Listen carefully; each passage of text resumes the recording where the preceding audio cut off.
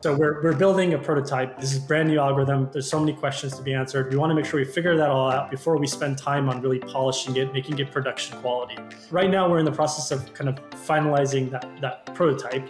And just today, we had a uh, earlier iteration of that prototype that reached a point where we were able to launch this uh, commit of, of Leap on a multi-node test network distributed across nodes in different places, right? Like all across the world, all across the globe. So we can have a realistic test of how long it takes to move things around. Hello, everyone. So this is the demonstration of the testnet launch for Instant Finality. Currently, we have 21 block producers split on three different nodes. These are the nodes at the top here, like each of them essentially represents uh, one machine that has seven block producers.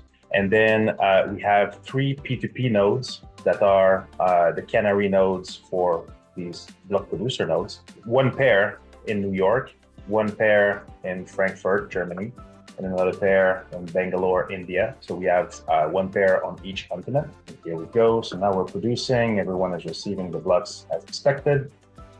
Instant finality is a name we're giving to this new consensus algorithm. Antelope, an earlier EOSIO, have this consensus algorithm that determines, given a set of signers, uh, which could be anyone, but it, it, the way we use it is the BPs. They're participating in, in, according to the algorithm, to provide signatures on blocks to determine what the last irreversible block is, which means the blockchain up to that point you can consider final and it's not going to be reverted, right? You can whatever side effects happen up to that point, they will remain the same and it won't change.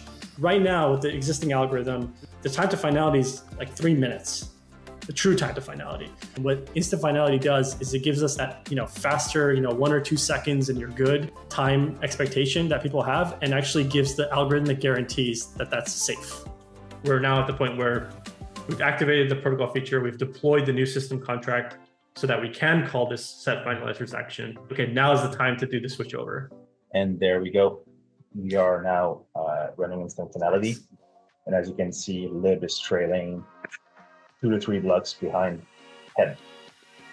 It's working. And, and we've transitioned to instant finality. Instant finality is advancing.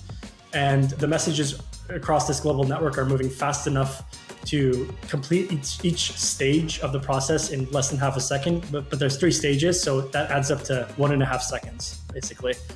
Uh, and we can see there's the LIB is three blocks behind the head block. The blocks have to be sent from um, one BP to the other. And as we've shown here, it's going through their canary node to the canary node of another BP, which could be in a different region, right? Somewhere else in the world to their BP. Has to go through those hops uh, to receive the block. And then when it receives the block, it votes. The votes have to go back to the leader BP uh, so that they can collect it to a QC and then propose a new block that it, it captures that QC and advances to, to, the next stage of instant finality.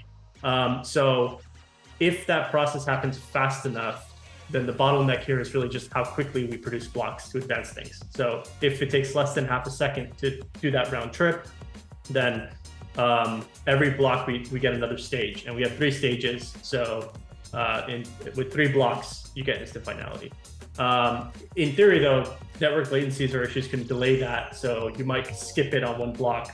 And in that case, it could take longer than three blocks, it could take multiple blocks. But um, we're seeing here that even in a distributed network across the, across the world, we're consistently getting uh, at most three blocks, so one and a half seconds finality tremendous work by the team. They've done such a great job. It's been a remarkable amount of work that was needed. It's just surprising how much work is needed. Yeah, we're finally seeing the light at the end of the tunnel now.